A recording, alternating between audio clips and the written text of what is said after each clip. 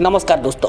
दोस्तों, इजिप्ट के राष्ट्रपति अब्दुल फतह अल सीसी की अगले सप्ताह न्यू दिल्ली की यात्रा से। डिफेंस सेक्टर में इंडियन इजिप्टी टाई को बढ़ावा मिलने की उम्मीद है। जी हाँ क्योंकि दोनों देश से आर्म फोर्सेस के बीच बातचीत में अपने सहयोग का विस्तार करने के इच्छुक है।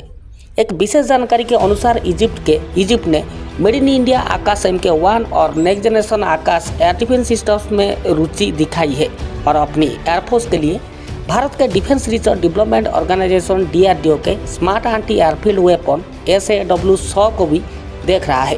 जैसा कि पिछले हफ़्ते विशेष रिपोर्ट ने दावा किया है कि भारत की टीबीएम टैक्टिकल बैलिस्टिक मिसाइल प्रलय प्रलय में रुचि दिखाई है और भारत के डीआरडीओ और इजिप्ट के एमओएमपी के बीच टीओटी ट्रांसफ़र ऑफ़ टेक्नोलॉजी समझौते के तहत इजिप्ट में इस मिसाइल का स्थानीय रूप से प्रोडक्शन करना चाहता है।